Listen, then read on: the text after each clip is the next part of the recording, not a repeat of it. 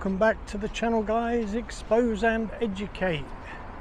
And it wouldn't be right to just show you a little bit of this. Just going to get it out of the sun. It's unusual that uh, if you're traveling through Bristol that you see this this sort of part of the world. This is one of the flyovers. Obviously you've got the bridge over the canal. That's a railway bridge Beware of the noise guys, it's on a very busy road. But yeah, it wouldn't be right not to not to just show you this little bit of architecture.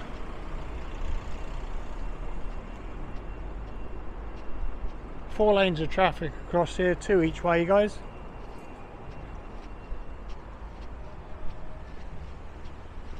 It's um This is Feeder Road in Bristol.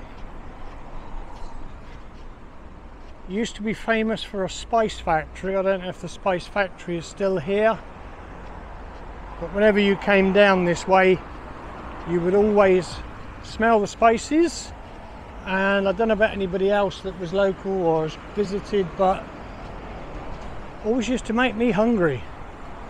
Um, coming from a different direction today, so we're not past it, it's further up this road. But we are just about to come to our next next place. I'll just show you the sign. So there you go. Kenneth Steele House. It's a it's a police station, but it's other things as well. It's a shared site, or at least the first part is. So we need to be a little bit careful because there is no footpath. And um, we need to keep in. Keep in tucked to the right. As I said, there's two or three businesses on here, plus the police station that we're about to visit. We've left it late in the day because hopefully there's more chance of getting blue lights it is on the books to to make a visit at night time or at least once the sun goes down and that will vary at times at the moment because days are getting longer nights are getting shorter. So we have one car coming out as we speak which means the exit is up further up the road but we're going to go into this bit just here so, car full of police officers. So yeah, we're going to just cut across here. So Kenneth Steele House. I will uh, put some information into the video guys when we get back. So the wind in Bristol today is been pretty pretty strong. So you can see the bridge we've just walked under up over the back and you can see the weight of traffic on it and you can see it spreading right down into the distance. We got to head back that way shortly.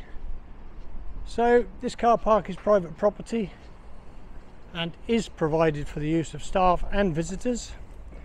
Vehicles are parked here at the owner's risk and the organisation accepts no responsibility. So standard sort of procedure. I don't think we can actually see much from here.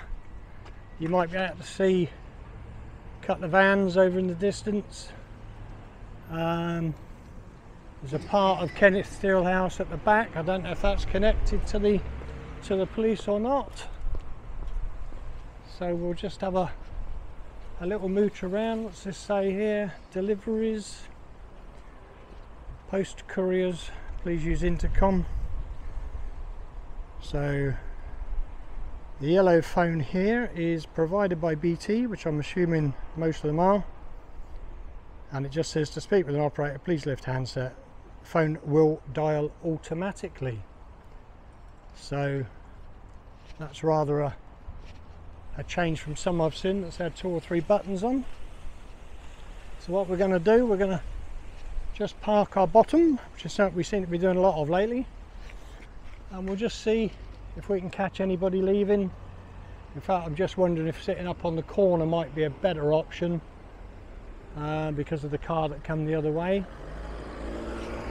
So what we might do actually, if we park up here, we can keep an eye from both directions and we'll be able to uh, see what's occurring uh, a little bit easier and we can keep our eye on the traffic ready for, for home time. Um, as I said, the wind's a little bit strong here today. It's more open than I thought actually. So um, yeah. So there's not many cars in at the moment. As I was uh, coming in, there was a, a, an altercation with a couple of cars down on the bottom roundabout, and there were three police vehicles in attendance. So this time of night, it's it's pretty potluck, whether you get anything or not. We'll just have a little look at what else is up here because having never been, um, in fact, I think I've only seen one other auditor do up here, and I'm not sure if he bothered to look around. Um, in fairness, he did get an interaction fairly quickly, so you know the score. If that happens, you don't tend to hang around, you move on to another location as a rule. So we'll just have a wander up this bit. Obviously this leads to Western Power. So you can see the communications tower. It is a big one. It is a big one. But then looking at the river next door, um, we've got to be fairly low. So I suppose it's got to be high to get the cover. So we've got a WPD site. Anybody know what WPD is? Western Power Distribution I'm assuming. We've also got now I never knew this was here Bristol Television and Film Services. Now I wonder if they mind people filming. It'd be like ironic if they uh, had a problem. But we'll have a we'll have a wander up, see what we can see, and I'll pick it up in a bit. So we're at the the back end of the police station. Not sure if other auditors have been up here, so we got quite a few vehicles. One, two, three of the small van, I say small vans, tranny type van one, two, three, hang on, I've lost count. One, two, three, four, five, six carriers. Six carriers. And I've got to say, one, two, three, four, five, six, seven cars, eight cars, one tucked away in the corner. Now that should tell me that there's plenty of coppers indoors. So we've got an ANPR with a camera on the back. This one's got the camera as well, but it doesn't say in ANPR. This one's got the camera on the back, but doesn't say, I don't think. Nope, no ANPR. That one's standard Peugeot. That one's standard. That one's standard. And that one's standard. So yeah, we'll have a have a little wander back round the front. Excuse me, mate.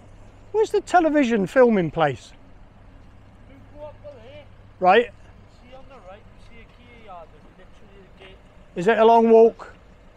There, Is it? All right, fella, thank you. I wondered if it was part of your land, you see, so I'll check it in a minute. Thanks very much.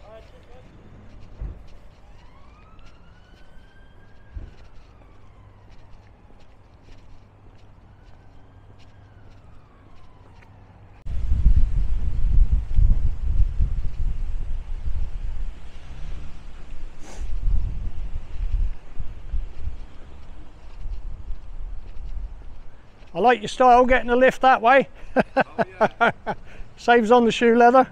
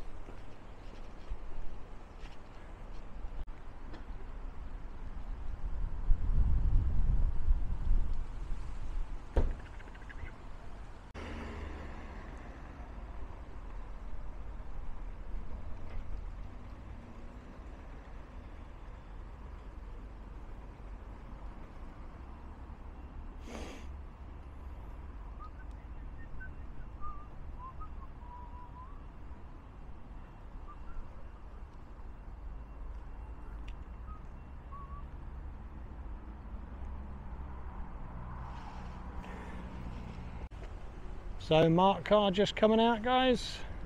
So I didn't have to wait long to see another one did we?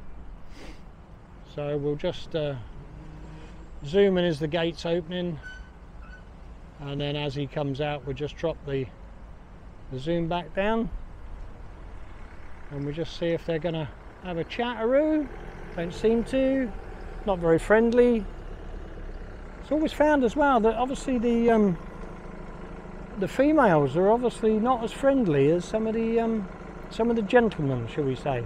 So uh, bit a bit interesting, but unusual. But um, yeah, little bit little bit strange, shall we say? In fact, shall we go and see what they're up to? See if they're radioing through and uh, seeing if we if we our presence G's them up a bit. So it's uh, just a standard car, Vauxhall, needs a good wash, bird poo all up the side, um, tyres don't look too bad. Yeah, not too bad, pretty good, pretty good state of affairs, could do with a wash. Um, so Oh yeah, I was just saying it's in good condition apart from it needs a good wash. Oh, it's a little bit grubby. Yeah. Can't help the birds though, can you? No. What are you doing here today? Just Just filming you guys, ah, getting a bit of stock footage. Yeah. Um, I tend to sell some images to other people building websites and stuff. Uh, and also it's uh, to gauge your interaction with the public. ah okay. So are you recording? no. No, because some sometimes they forget to mention it.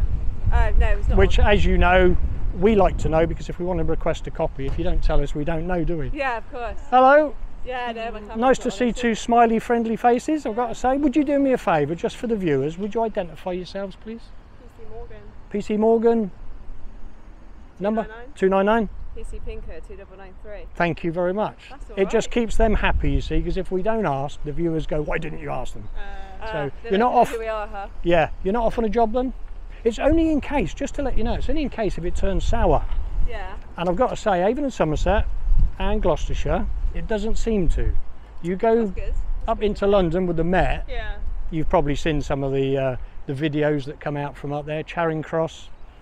You Not- not good. places, have you? I've not done any of the Met stuff yet. I've stayed fairly sort of local to Berkshire, Oxfordshire, Gloucestershire, even in Yeah. Somerset. So you know. Oh, okay. So can I ask you both? How, if if you don't mind ask answering a couple of questions, Mhm. how long you been in the job? Uh, six years this year. Six years, because you've got quite a low number. Yeah. Do they reissue them? Yeah. Ah, right. Because yeah. I was watching. through them now. Yeah, they wait a couple of years. Right. Because I was watching Blue Bloods about the American police in New York, and they reissue. Yeah. Um, yeah. And and you seem quite high compared to that. Yeah. Four years So- this year. Four years. Okay. So you're obviously still enjoying it because you're smiling still. It's Yeah. sunny in it.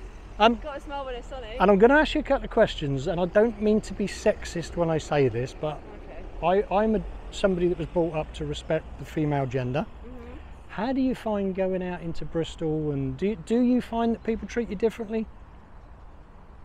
Not particularly. Not really. Great. I'm glad to hear that because obviously, you know, we know there's bad stuff out there. You never know what you're walking into and stuff. You- So you're taser trained, I've just noticed, Yeah.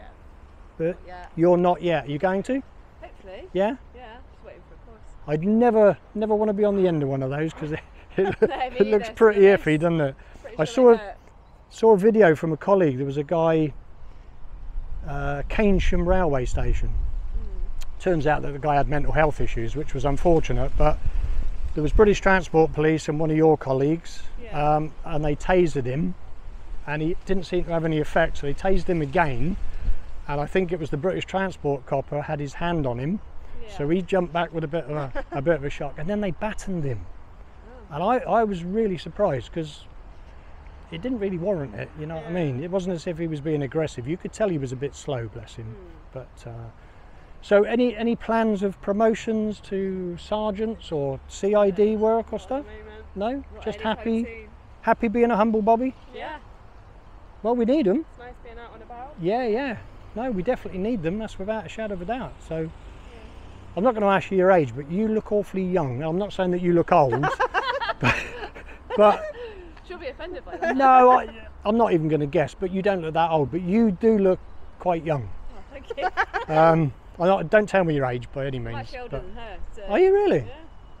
So you had a big paper round then. really? It's the six years, isn't it? Yeah. Well, I've only got four. The obviously, extra two so, years, yeah. Well, do you know what? That that was going to be one of my questions because you've you- you've been friendly and you've stopped. Do you find it's a stressful job most of the time, some of the time, or hardly ever?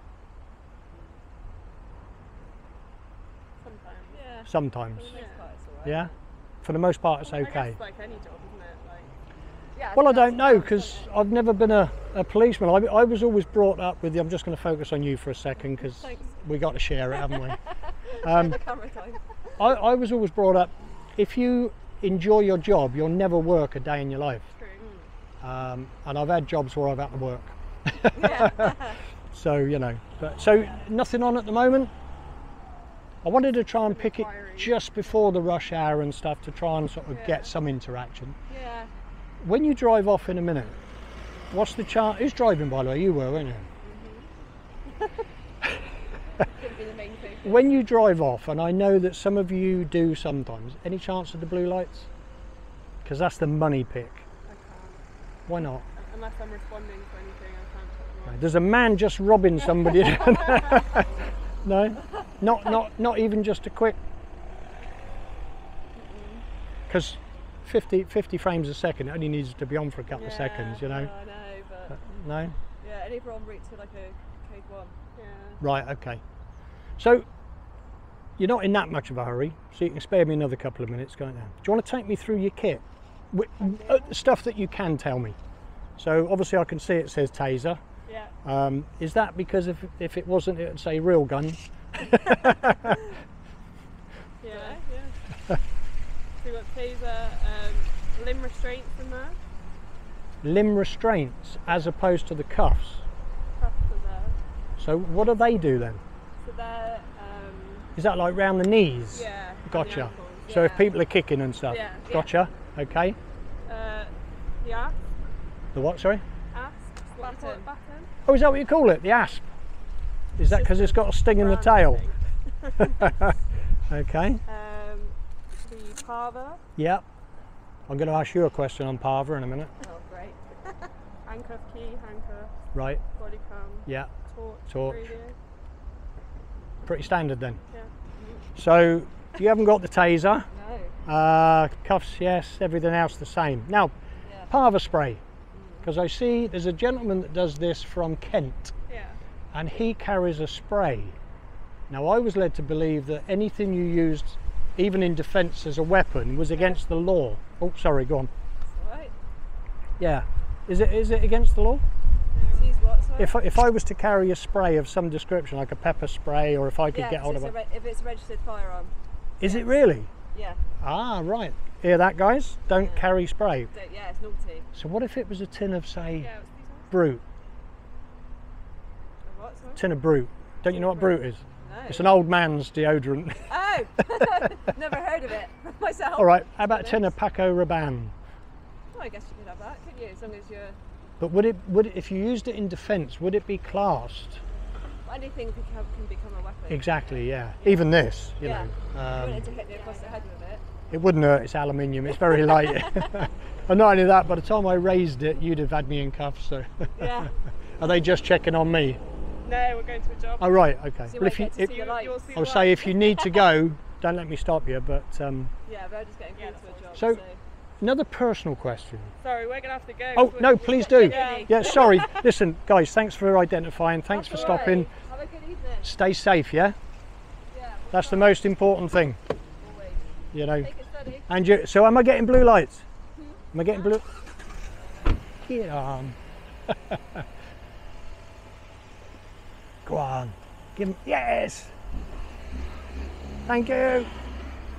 There we go, guys. We got the blue lights and we got the twos. So very happy with those two ladies. Um, look forward to your comments on them. Very smiley, very professional. And in fairness, now that we've got that, we could probably, let me just check my phone. Uh, what we're looking at, the bridge is still pretty chocker-blocker, but I think we might as well head on. Um, I mean, there is a chance we could find somebody else to talk to us, but I had spotted a McDonald's down the road, so I think what we're going to do, guys, is we are going to